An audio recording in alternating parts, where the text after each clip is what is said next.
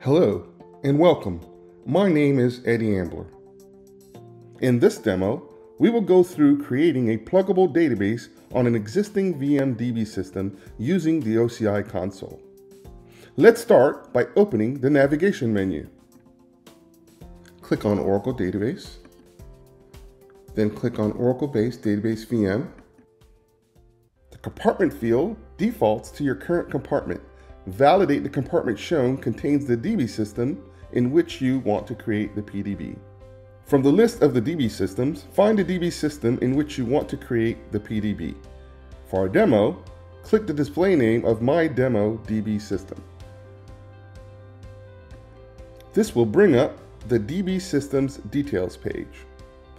Note that the state of the DB system is shown as available, as depicted by the green icon on the upper left of the screen.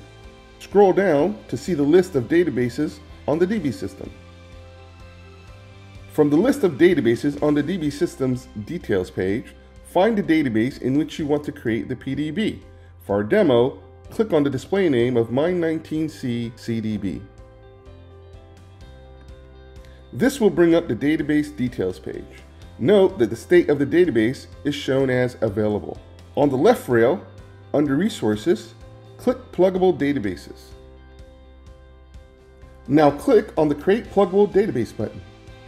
This will bring up the Create Pluggable Database dialog screen. Specify a user-friendly name that you can use to identify the PDB. For our demo, we will use My19C PDBX for the PDB name. Next, we will check the checkbox to unlock my PDB admin account. We can now enter the PDB admin password, ensuring to pay attention to the required password format. We will then enter the TDE wallet password of the database. Now that we have named our PDB and provided the admin passwords, let's look at what is available under Advanced Options. Under Advanced Options, you can optionally apply tags to help you organize and track your resources. If you're not sure if you should apply tags, then skip this option. You can apply tags later. Click the Create Pluggable Database button to proceed with creating our PDB.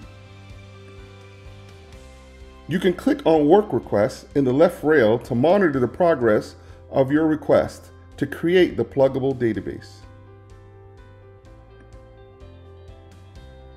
You'll note that the work request has a state of in progress. When the database creation process completes, the state of the work request changes from in progress to succeeded. Click on the Pluggable Database Details link in the breadcrumb trail to go to the Pluggable Database Details page. Note that our pluggable database name that we specified is displayed and that its state is marked as available we can click on the PDB Connections button to see the connect string for connecting to your PDB's administration service. You can use the following connect strings to connect from within your VCN using either the Easy Connect format or the long format.